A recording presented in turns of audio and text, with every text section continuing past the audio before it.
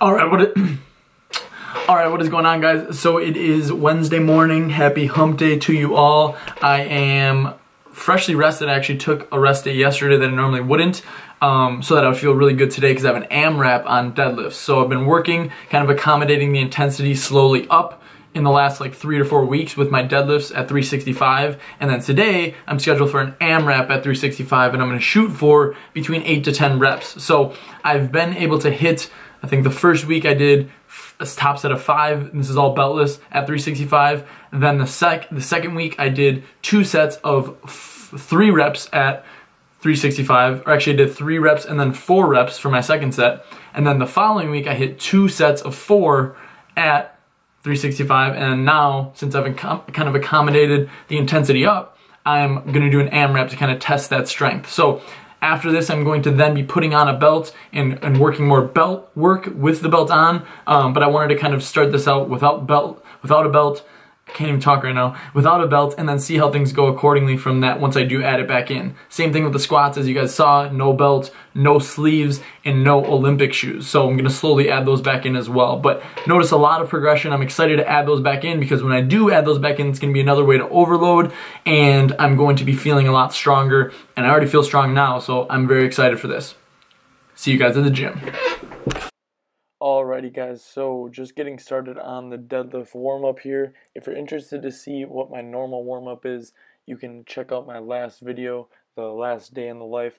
Um, I go into it pretty in-depth, so um, I did that same warm-up before I get started here, starting out with 135 on the bar, and yeah, just really getting things warmed up, getting the form down, getting those motor patterns down, those activation cues that I think about, and really the main things that I'm thinking about on deadlift are going to be pushing into the ground with my heels and just my feet in general, pushing away as I'm pulling. So kind of creating those opposite forces, pulling with my hands obviously um, tight as I can on the bar and then pulling the bar off the ground, but then also pushing my feet into the ground at the same time. So the other thing I'm doing also is creating torque within my shoulders, which is also going to help engage the lats and create that neutral spine and maintain that neutral spine and um, those are really the main things that I think about, and the rest kind of falls in line. And then, of course, just a big, strong lockout at the top and maintaining as much tightness overall as possible, not only for strength, but also for just overall um, uh, avoidance of injury. So,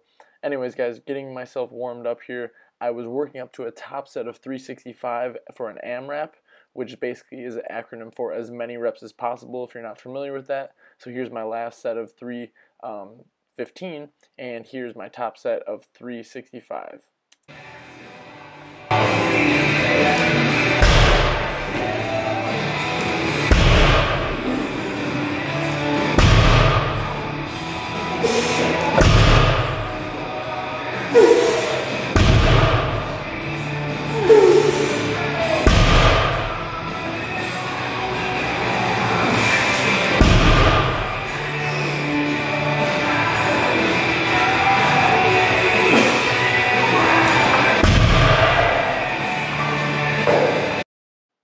So after I was able to hit eight reps, which is awesome because that is three reps more than the five reps I was able to hit at the beginning of this phase.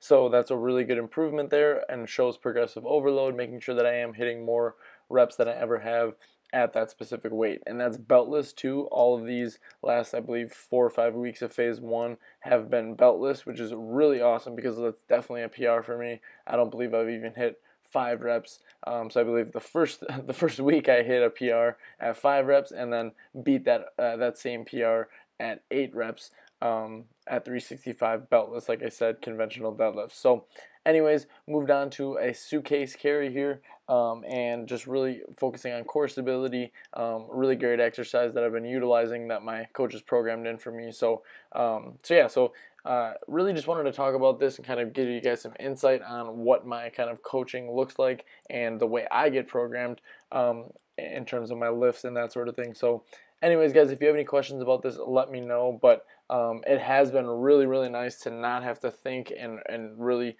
do that sort of side of things when it comes to my own coaching. And like I preach to you guys about me and my coaching and how much it can benefit you accountability wise, that has been huge because I know that I am going to have someone kind of keeping me on track with things, making sure I'm hitting my goals. And if I'm not, making adjustments accordingly. But anyways, guys, thank you for watching. I will talk to you guys in the next one. Make sure you check out my six week challenge if you have not, and I will talk to you guys very soon. Thanks for listening.